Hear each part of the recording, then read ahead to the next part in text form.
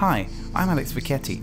I'm an Italian born and British bred English teacher and artist, and I'll be taking you around my Sicily on and off the beaten track. Sicily is the definition of a hidden gem, hidden behind a lot of negative stereotypes and bad Hollywood publicity.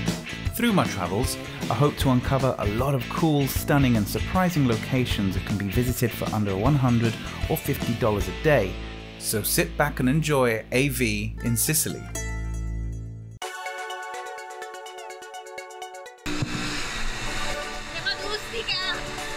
Hi kids! Today I'm taking you to Ustica, a lovely island north of Palermo which can easily be reached by ferry in just under an hour.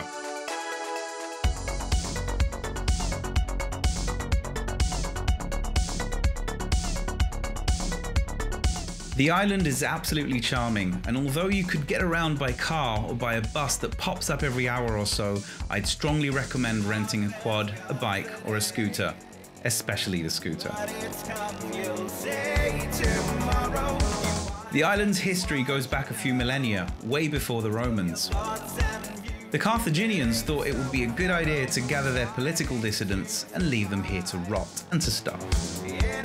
And for many centuries, the island was actually used as a penal colony by the Romans and the Bourbons, and pirates who raided the island, taking anything they could find until stable colonization started around the 18th and 19th centuries. Luckily today, it's brimming with beauty and vibrant locals. You start off from the colourful small town of Ustica, scurrying off to the medieval watchtowers all around the island, and the traditional white Mediterranean homes, to the beautiful rustic stone houses spread here and there, to the black volcanic beaches, to lush mountain tops, to 18th century fortresses, and even a very secret military base.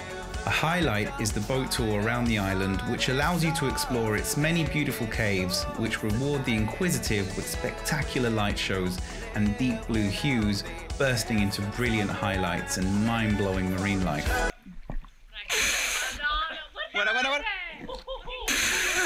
and a professional spitter.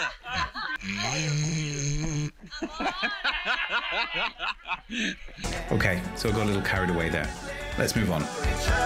What probably struck me the most when I visited with my wife in 2016 was the radical change of scenery, like a film set, all in just eight and a half square kilometers. And I'm not even mentioning it's a diver's paradise because I didn't have any time to see it for myself, and because I'm more of a land animal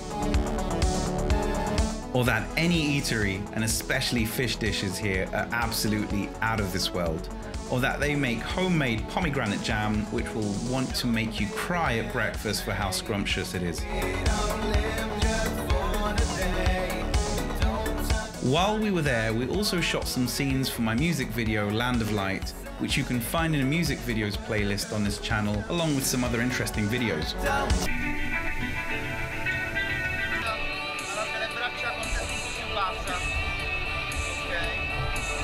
So, whenever you find yourself in Palermo and want to go exploring, treat yourself to this splendid little gem and see you next time. God bless.